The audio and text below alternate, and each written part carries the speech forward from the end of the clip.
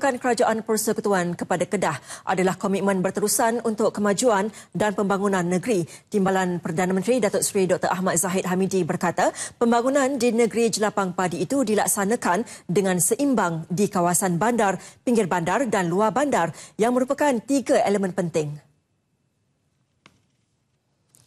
Justru beliau akan memastikan Kedah diberi bantuan secara berterusan. Ini kerana negeri ini merupakan penyumbang utama 37% kepada sektor makanan negara.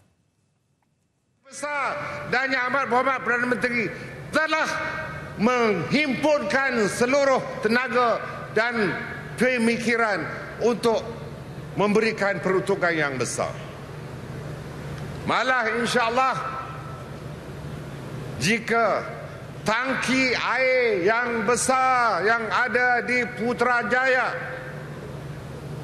disalurkan airnya di Wisma Kedah Darul Aman.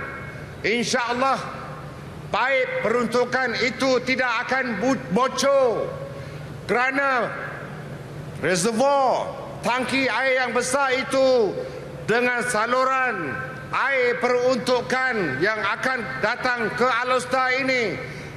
Saya akan terus membantu yang amat berhormat Perdana Menteri untuk menentukan bahawa Kedah diberikan keutamaan Beliau berucap pada majlis perasmian Expo Muafakat Kedah di Alustar. Turut hadir Menteri Besar Datuk Seri Ahmad Bashar Mat Hanifah dan Barisan Exco Negeri. Expo bermula hari ini hingga 3 Mac menyasarkan hampir setengah juta pengunjung.